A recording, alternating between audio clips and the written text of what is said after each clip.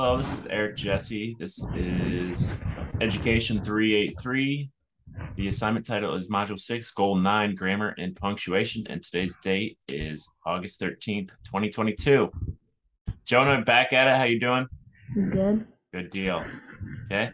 So today's lesson, you know, we're going to continue with the writing aspect, you know, and we had just done some editing things.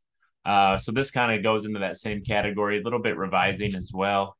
Um, you already kind of touched on earlier what the editing process looks like for you and the re- revising process. So this is, like I said, similar. Uh, what if I were to say a pause in a sentence? What uh, piece of grammar or punctuation would you first think of? Um, obviously, you know you got the commas. That's kind of a pause, right? Yeah. So, but if it, it's slightly longer, what what would you what would pop into your head? Anything? Um. Not really. Yeah.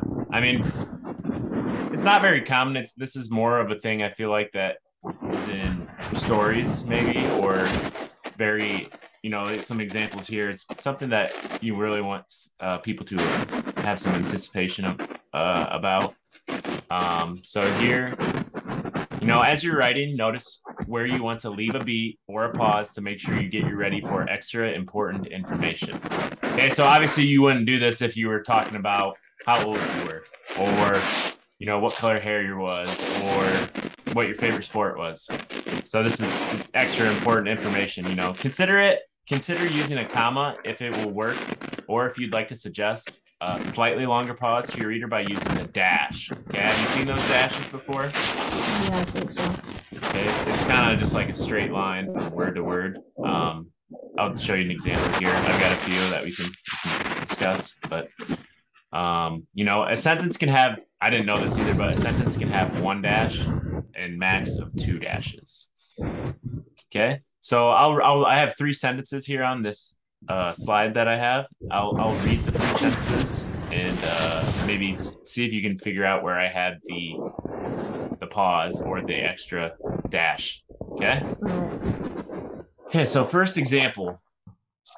When mischievous Sylvester Quincy snagged the schoolmaster's toupee, the schoolmaster took terrible offense.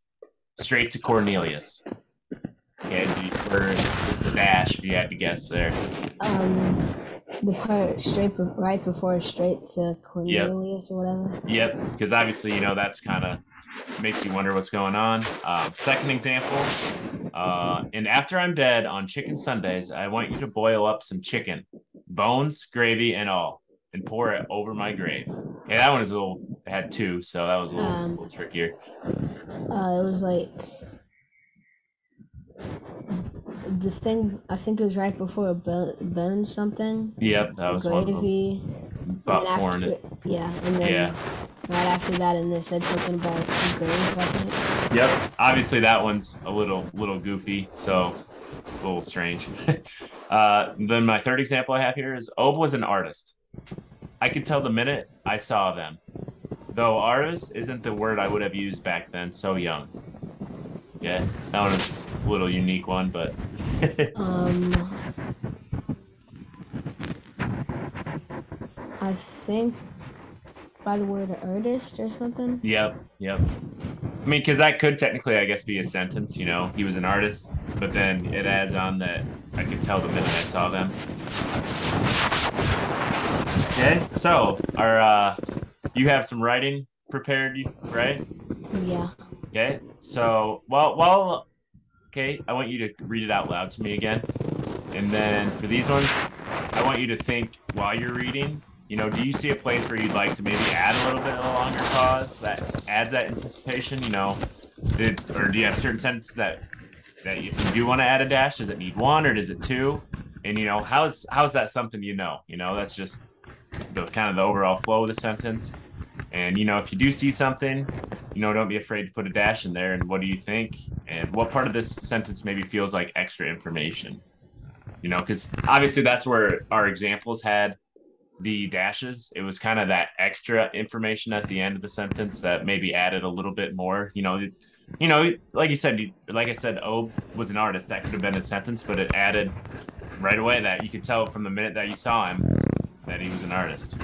Okay, like that's something we don't necessarily need to know, but it's that extra information that we can do good learning. Okay, does that make sense? You understand kind of what we're trying to do here? Yep.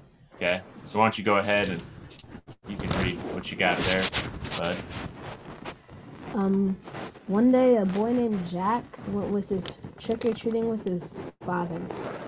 They saw the famous haunted house and went inside. This this place is spooky, and this place is spooky. And wait, okay, this this place is spooky, and I heard editing. there might be ghosts there. Um, I'm pretty sure right there I could have put something. I, Yeah. it said and. That's definitely- and- That's definitely a good place you could put it because it's that extra information, you know. You said it was spooky, but the fact that you could maybe see a ghost there too, that's obviously something that as a reader you would maybe put that extra pause in. I agree. That's a good one. um, said Jack's father. Um, they searched the whole house for ghosts, and then they found the last closet. When they opened the closet, they saw a ghost. They ran out of the house and never came back. Any other dashes you think you could have added to that? Um, let's see. Maybe in between where it said they searched the whole house, and but they didn't.